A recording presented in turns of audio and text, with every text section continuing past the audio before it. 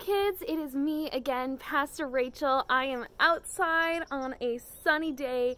It is amazing, and I am so excited for us with our game today that we are going to play. Today's game is going to be a scavenger hunt.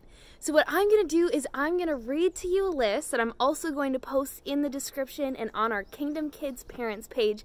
And it's a list of things that I want you to find either in your house or in your yard um, or just wherever you are this week for fun. And if you want to race your siblings, if you want to join your siblings, if you want to do it on your own, all of that is awesome. But be sure to tell us how you did, if you could find any everything, and if there's anything that you couldn't find.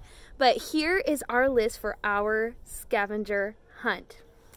I want you to find something that grows, something that sheds, something that you wear to play a sport, something that shrinks, something that's made by you, something with spots, something with a timer, something in a language other than English, something inside that belongs outside, something frozen, something that changes color, something that you should read every day, something that's heavier than it looks, and something that always makes you smile. That's a lot of things. It's all going to be posted in the description as well as on the Kingdom Kids parents page.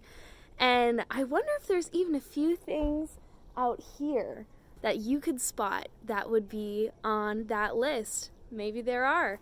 But I want you to spend some time looking for these items with your siblings, on your own, with your parents, however you want to do it. I hope you guys have a super, super fun day. I hope you have a great time playing the game, and I will see you tomorrow for Faith in Action Friday.